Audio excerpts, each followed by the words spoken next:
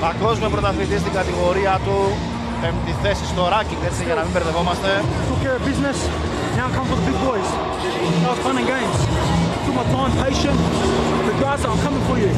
There.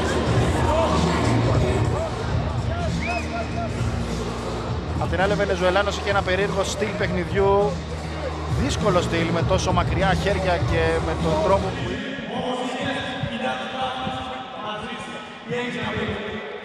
Να είμαι εδώ με έχει κάνει μεγάλο χαρά.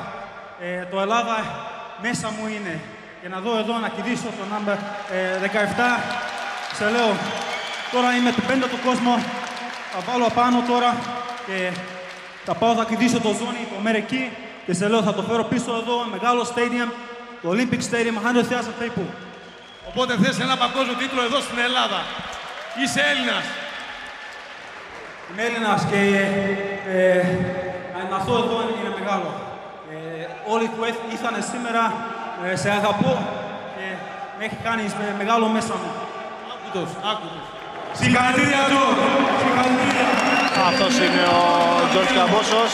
Also, for, for everyone watching back home, all the Australians, I'm, I'm a proud Australian, proud Greek, and uh, appreciate all the support. This was, this was another step. This boy took the fight. Um, he, he, came to fight. It's a big opportunity for himself. We chase top 10 guys. They don't want nothing, nothing to do with us, so we're coming for, for, bigger fish. My next fight's in the US, and we're chasing Jose, uh, Jose Pedraza. That's what we want. Former world champ, two-time world champ. We're coming for you. Brocal.